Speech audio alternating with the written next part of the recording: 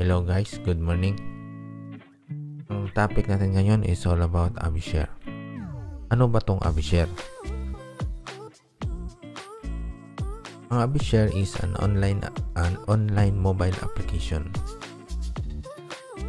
Matagal na tong uh, application na to pero hindi lang to masyadong pinapansin dahil sa dati hindi naman to required.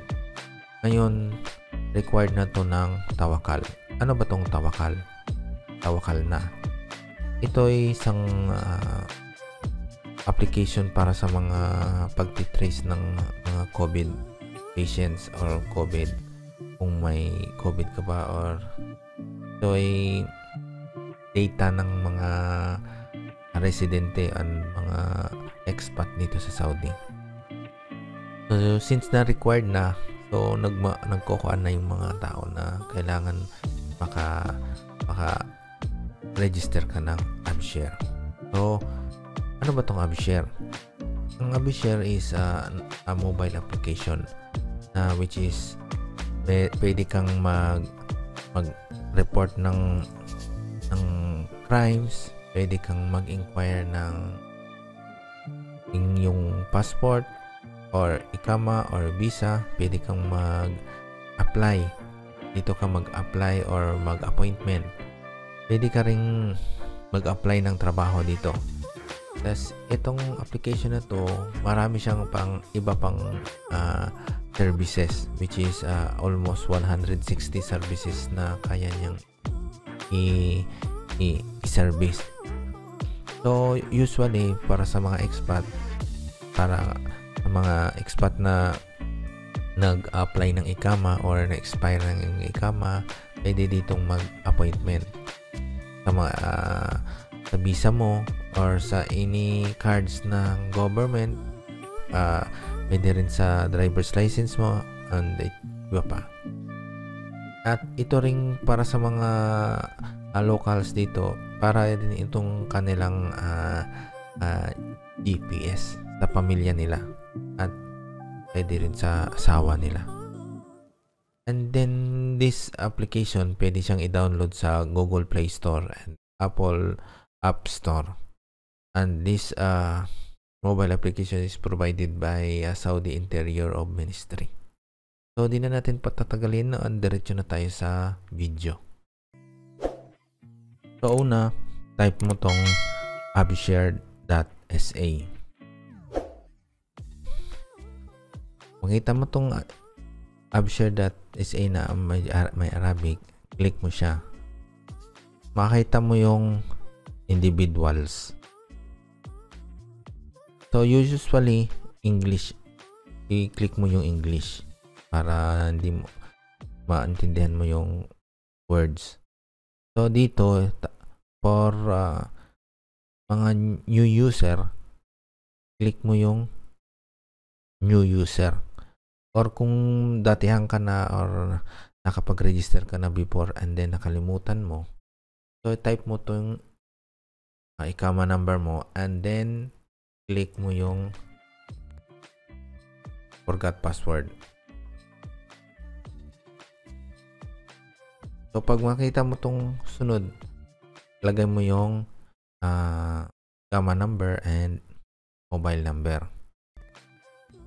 Usually, hindi naman talaga to mag-work kung hindi ka pupunta ng chaos machine. And then, makikita mo tong isang red na pan na to na kailangan mo pa rin talagang pumunta ng uh, Activision offices or chaos machine. Kahit na hindi ka pa pwedeng mag-direct dito sa, sa internet or sa mobile mo. So, may mga ibang paraan kung nasa city ka. Maraming mga pwedeng paraan doon. Pwedeng pumunta ka doon sa mga nearest offices nila, government offices. Pwede rin pumunta ka sa mga malaking bank.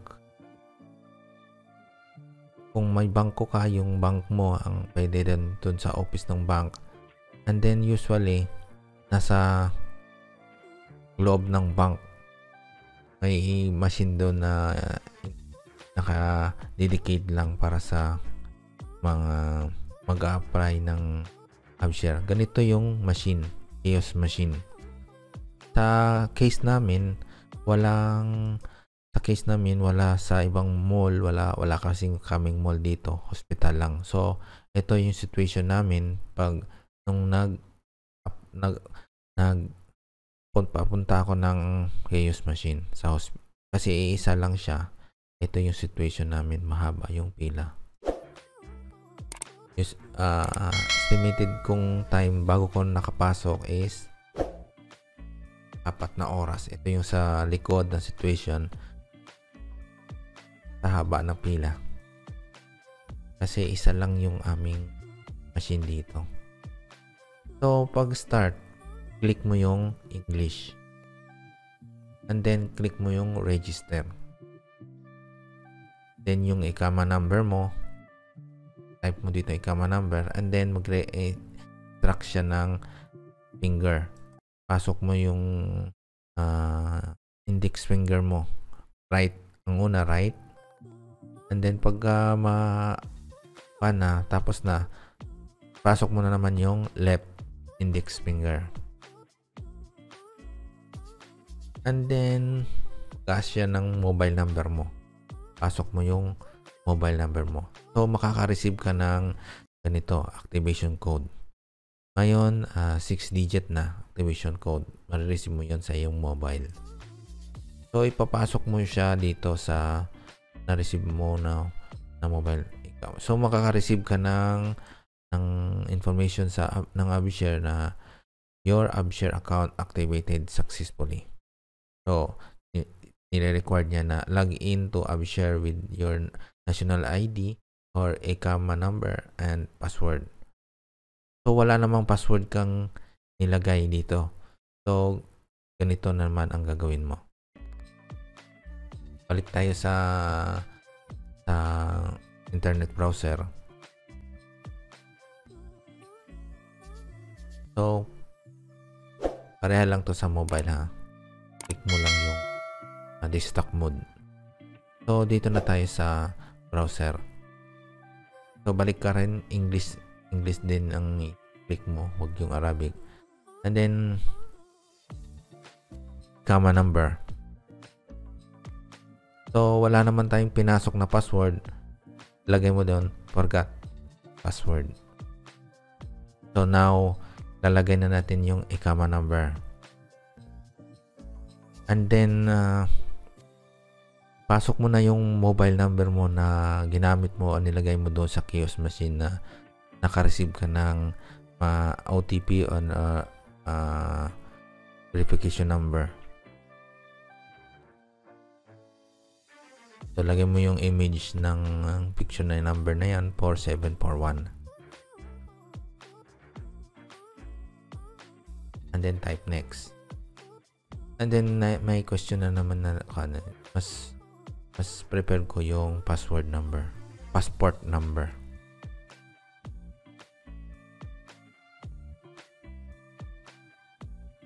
So, remember mo yung passport number mo i-input mo dito and then click next. So, sa mobile number mo, makareceive ka ng OTP number. 4 digit lang to. And then, yan ang i-input mo dito sa activation. So, mag-a-ask siya ng new password. So, i-input mo yung password mo. Kailangan 8 digit lang with capital letter, with lowercase uh, letter, with number. 8 digit lang ha. Hindi pwedeng 9 digit or 10 digit. 8 digit lang. So, ipasok mo yung desired 8 digit na number mo and then i-retype mo ulit to confirm password. Kailangan parehas. Pwede mo namang i-show So, makita mo yung password has been changed successfully. So, pag nakuan mo na yan, taka ulit sa AppShare. Pwede sa mobile or pwede, dito. So, dito ako nakakuan English ulit. And then, input mo na yung kama number and password na ginawa mong bagong password. Bag makaka-login ka na. So, makaka-receive ka na naman ng uh, OTP number sa cellphone mo. And then, uh, ipasok mo ulit dito sa verification code. So, makaka-receive ka na ng maglalagay siya ng mandatory field. So, ilapasok mo yung email address mo. Yung uh, active na email address mo. Then, type OK. So, nakalagay dito, your profile was created successfully. Pero, i-log in, log out mo muna. So, i-log out mo muna ulit and then, log in ka ulit.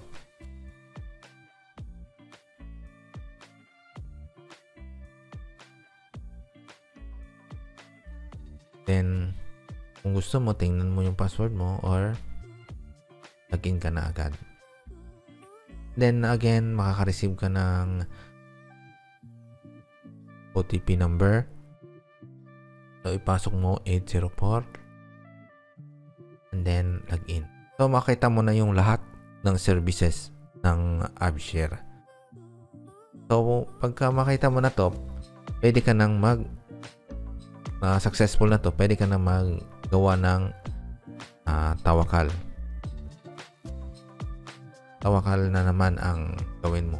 Which is, sa susunod natin na video, ang tawakal na naman ang ating ita topic. Okay? Thank you for watching. See you in my next video. Bye-bye.